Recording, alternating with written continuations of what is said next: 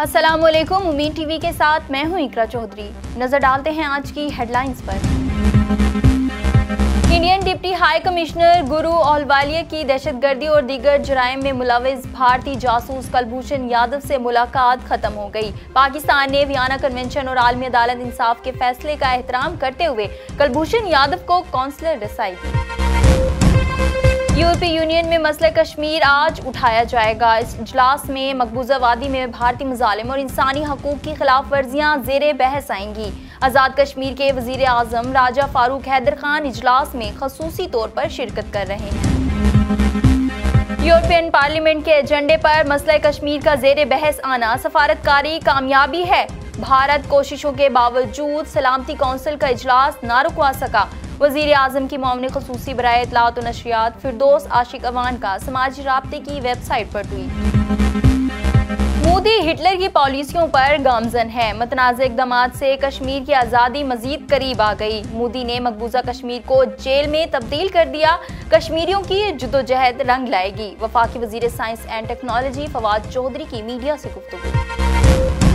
Peoples party نے آصف زرداری کی jail منتقلی کا معاملہ پارلیمنٹ میں اٹھا دیا۔ پیپلز پارٹی کی نائب صدر شری رحمان نے تحریک الوا پارلیمنٹ میں بسے کا مطالبہ کر دیا۔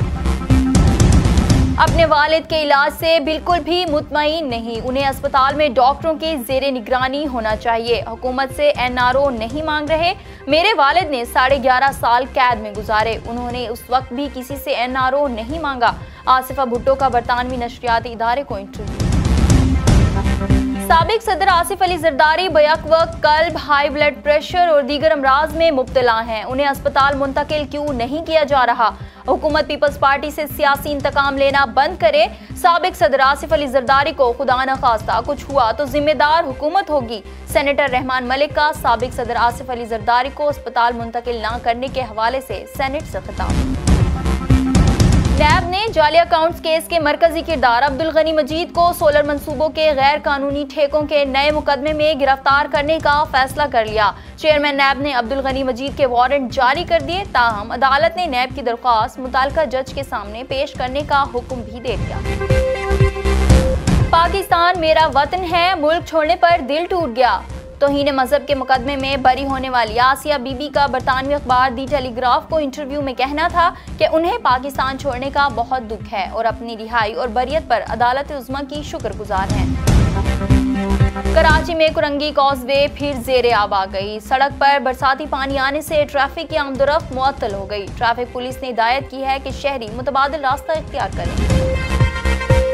مقبوضہ کشمیر میں مسلسل انتیسویں روز بھی کرفیو اور پابندیاں برقرار۔ غذائی کی لچ شدت اختیار کر گئی۔ کشمیریوں کا بیرونی دنیا سے رابطہ منقطع۔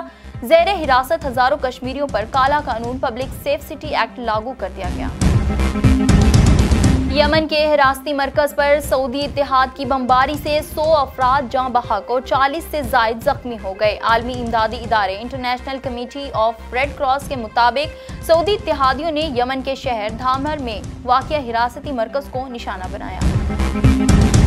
ایمنسٹی انٹرنیشنل نے مقبوضہ وادی میں جاری بھارتی مظالم کی مذمت کرتے ہوئے کرفیو اٹھانے کا مطالبہ کر دیا۔ ایمنسٹی کی اسام میں انیس لاکھ افراد کی شہریت ختم کرنے پر بھی بھارت کی مذمت۔ پی سی بی کا چھ ہائی پرفارمنس سینٹر بنانے کا فیصلہ۔ صوبائی ایسوسی ایشن کا اپنے ہائی پرفارمنس سینٹر ہوگا، جبکہ نیشنل کرکٹ اکیڈمی کا نام تبدیل کر کے نیشنل ہائی پرفارمنس سینٹر رکھ دیا جائے گا۔ اور میرپور آزاد کشمیر میں یکجہتی کشمیر باکسنگ ٹورنامنٹ کا انعقاد کیا گیا۔ خواتین نے بھی خوب موقع برسائے۔ برطانوی باکسر جے خان کا کہنا تھا کہ بھارتی وزیر اعظم کو ظلم کا حساب دینا ہوگا۔